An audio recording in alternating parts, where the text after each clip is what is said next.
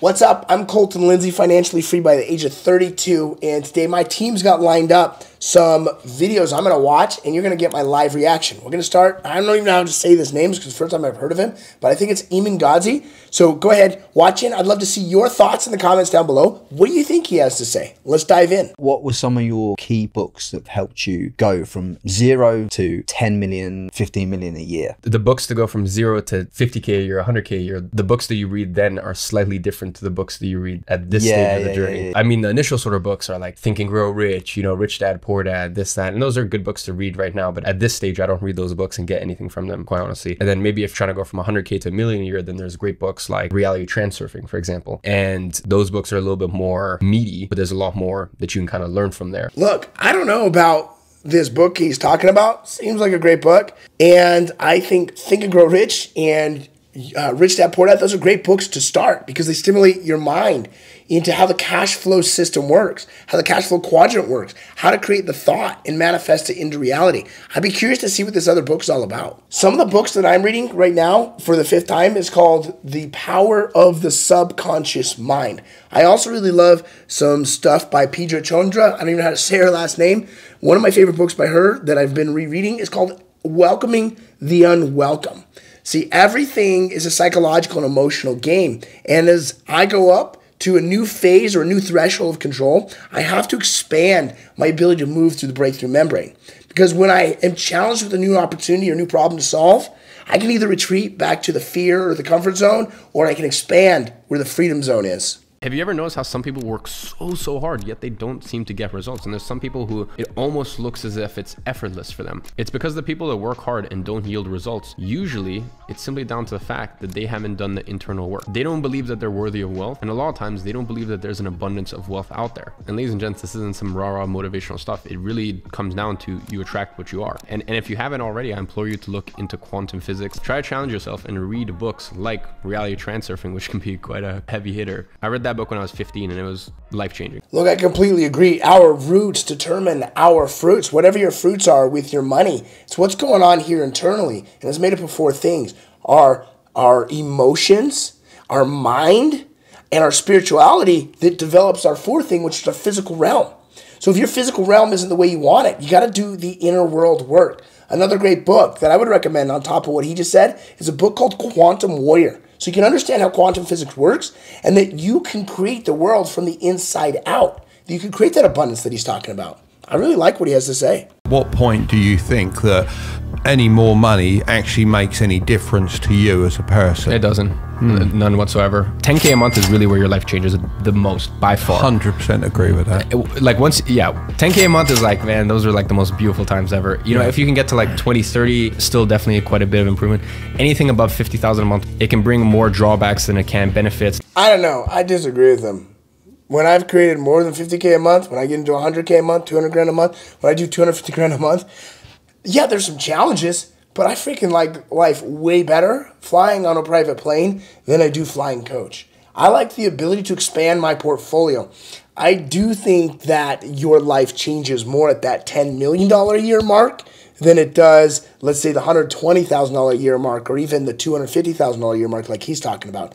10K a month is cool. It really, really is, and it'll create a lot of ease in your life. But I want you to consider what if you had $100,000 a month that just came in residually, and you can absolutely do that where you set yourself up either for asymmetrical growth, residual cash flow, where it's just consistent money no matter what. Like I took the whole month of June off. I worked only a handful of days, and I still made $110,000.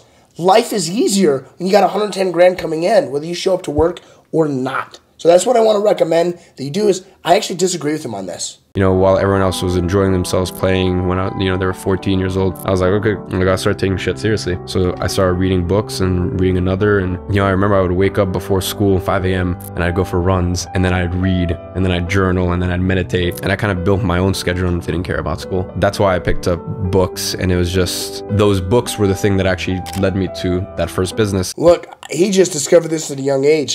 If you can get up early, Early to bed, early to rise makes man healthy, wealthy, and wise, as Benjamin Franklin said. And I love what he said. He dropped the word meditation, the repetitive practice of letting go. So when he's sharing some formulas, he just started at a younger age. I don't care how old you are, and don't put the pressure on that your kids have to do it that exact way. People are going to succeed in their own great way. But these behaviors, these patterns he's talking about, get up, meditate, read great books, go on a run, get some cardio in your body, have a think time. These are things that I use today because it creates more clarity in my life. So I agree with what he's talking about. I don't think age matters on this. How did you master your emotions for business? I think when you realize that emotions have no place in business, they really don't.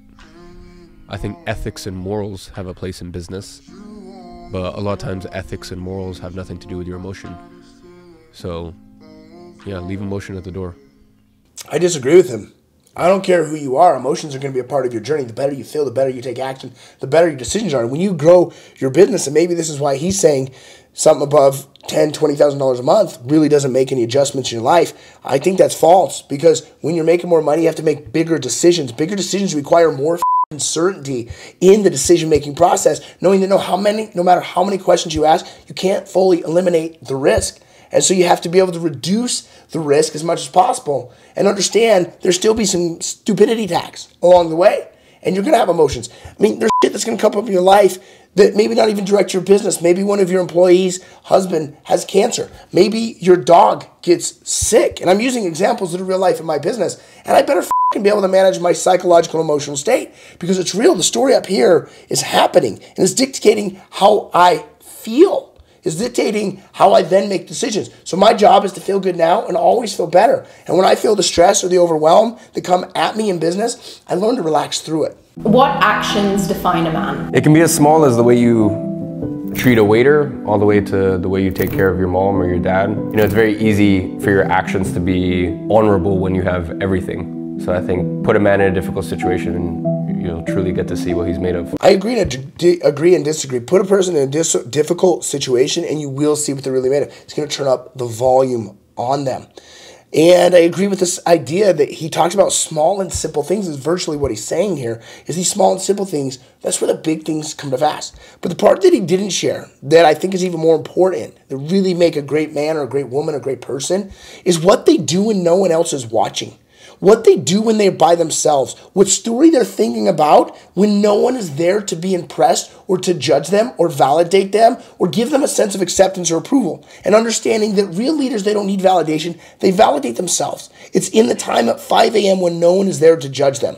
It's when they're by themselves that they have a thought process to go through and no one else is there to judge them, but they do the thing that builds them up in that moment. That's what I think really defines a man or a woman. All right, gang, thanks for watching this video. I'd love for you to share in the comments what you thought about today's video. Smash that like button, share it with someone else. You know what? I really think uh, Eamon Gadzhi seems like a really cool person. I don't know much about him. He's obviously got some success going for him. I agree a lot with him, and there's some things I just don't agree with. Either way, I'd love to see what your thoughts are. Drop in the comments down below, and I'll see you on the next video. Look, I want to say thanks for watching my video. And I know that this isn't for everyone, but it is for certain people that are ready to make big changes. Like they're ready to create residual revenue, they're ready to become real business owners, they're ready to have a business that makes money even when they're not working. And if that's you, I want you to click the link down in the description and I want to give you an opportunity to have what's called a triage discovery call. We're gonna meet with my head coach and learn where you're stuck in your business and what changes you got to make so that you don't have to work to make money. I, and I want to say again, I know that sounds crazy, but imagine you took time off and you still made money. That doesn't mean you don't have a business to grow. You absolutely do. But I'm going to teach you how to grow a business that makes money even when you're not there working. So click the link down below, get your free consultation with my team, and let's really discover where you're at and how you can create it. We'll see you there.